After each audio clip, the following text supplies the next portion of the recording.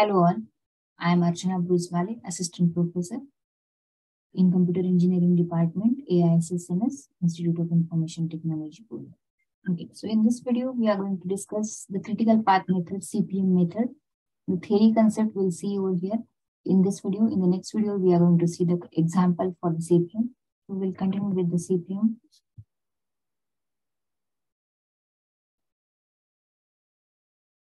Okay, so what is the critical path method? So the critical path method is basically it is a method to find out the critical path. So what is that exactly? So the critical path method is a simple but powerful technique for analyzing, planning, and scheduling a large complex project. It is mainly used to determine the project's critical path. So what is the critical path? The critical path in project management is basically the longest sequence of activities that must be finished on time to complete the entire project. Means those activities cannot be delayed by even a single day. Otherwise, it will impact the overall project's completion date. So any delays in critical tasks will delay the rest of the project. It can be, it cannot be delayed by the one day or whatever, whatsoever. Means if the one day, then whole project will be delayed by the one day or, or the one month, depending on what time you, you are using. So CPM revolves around discovering the most important tasks in project timeline, identifying the task dependencies, and calculating the task durations. It discovers the project timeline, identifying the task dependencies, and calculating the task durations, and accordingly find the critical path. So CPM was developed in the late 1950s as a method to resolve the issue of increased costs due to inefficient scheduling. So since then, the CPM has become a popular tool or the algorithm you can say for planning the projects and prioritizing the tasks. So it helps you break down the complex projects into individual tasks and gain a better understanding of the project's flexibility. So the critical path method is defined in the PMBOK as follows.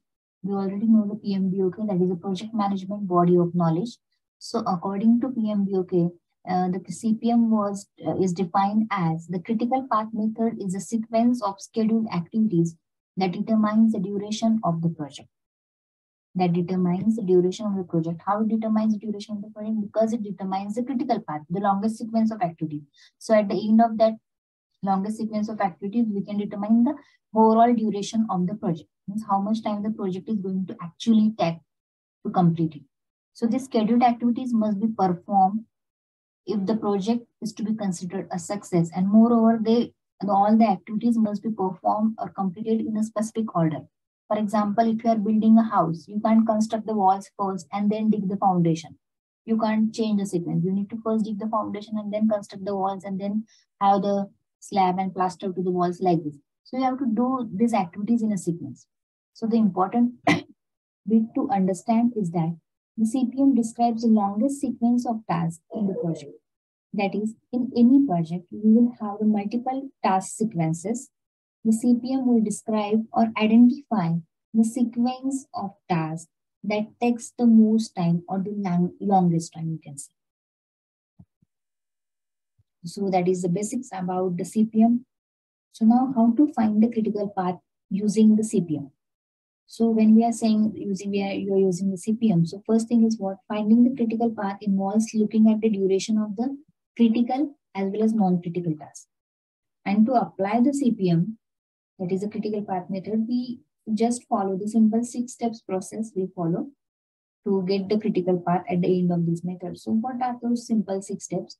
So those steps are the first step is list the activities or specify each activity. So when we are saying list activities or specify each activity, what we have to do exactly? We need to use a WBS to list out the activities. That is a work breakdown structure we need to use to list out the activities. Then the second process is that sequence the activities. So based on the WBS which we got in the in the step one, so based on the WBS, we have to determine the tasks that are dependent on one another. So basically, we have to sequence the activities according to the dependency between each other. The next one is the third one, create a network diagram. So it is basically the when we are saying the network diagram, it is what it is a flowchart which displays the chronology of activities. In what order we have to perform them. So it basically displays the chronology of activities. The next one that is four that is estimate activity duration. So estimation here, when we are saying estimate activity duration, the estimate can be made based on the previous data, the industry standards, the past experiences. So based on that, we can estimate the activity duration or alternatively, we can use the forward pass and backward pass to estimate the activity duration. The next step that is identify the critical path. So the when we are saying identify the critical path means what is the sequence of activities with the longest duration that is a critical path. So that we have to find out here, identify over here. And the last step that is calculate the float. So what is the float here? So the float or slack, a float can also be called as a slack, which refers to the amount of flexibility of a given task. Means amount of flexibility of a given task means if there is a float of five days, then there is a flexibility in completion of the task or in the starting of the task that I can delay the uh, start of the task by five days or I can delay the completion of the task, task by five days. So this, this kind of flexibility is there. Okay. So here is the graphical process of the finding the critical path. These all the six steps process we already discussed.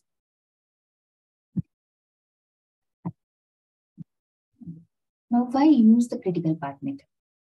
As we have seen the basics of critical path method, what is the CPM, what are the process, what is the process exactly to find the critical path using the CPM.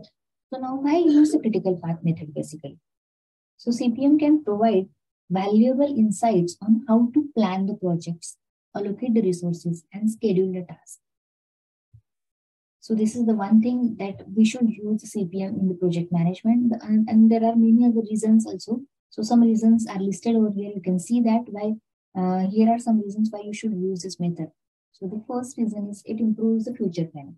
So when we are saying it improves the future planning, what it exactly does?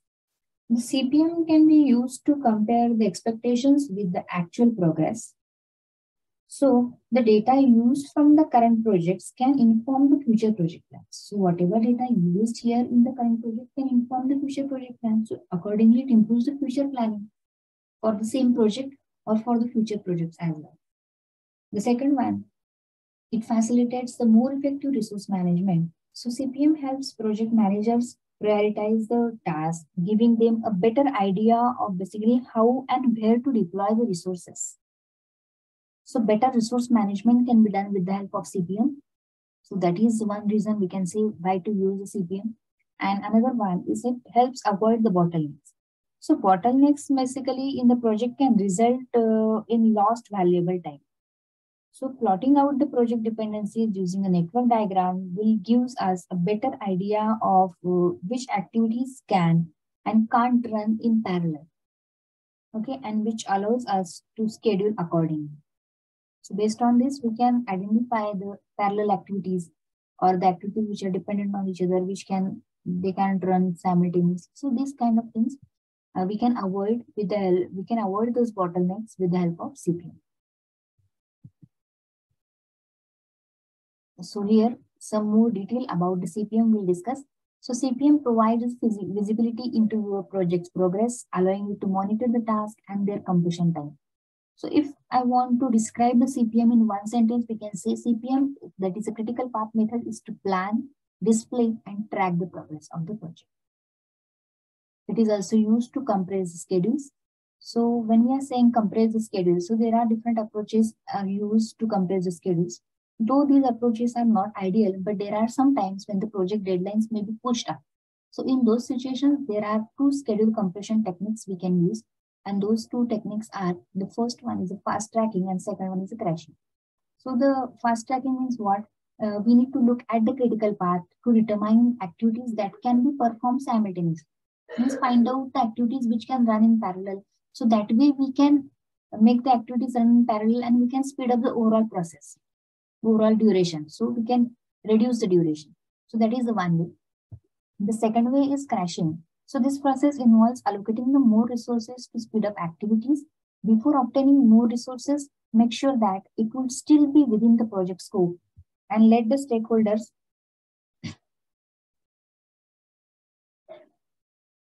know of any changes. So in this way also we can uh, we can compress the schedule. So having the critical path method plotted plotted out can help you choose the appropriate strategy to meet updated deadlines.